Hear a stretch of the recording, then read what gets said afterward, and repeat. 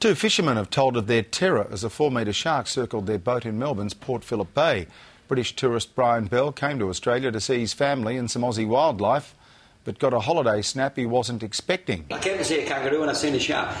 Oh, everybody goes on about Jaws, but you're scared watching Jaws when you see it in real life. It is frightening, yeah. I was scared, yeah. I'd love to have fed it, but they said no. He said no. I wanted to throw someone in so it would jump up and then get a better photograph. Luckily, he didn't, and Brian and his uncle lived to tell the tale.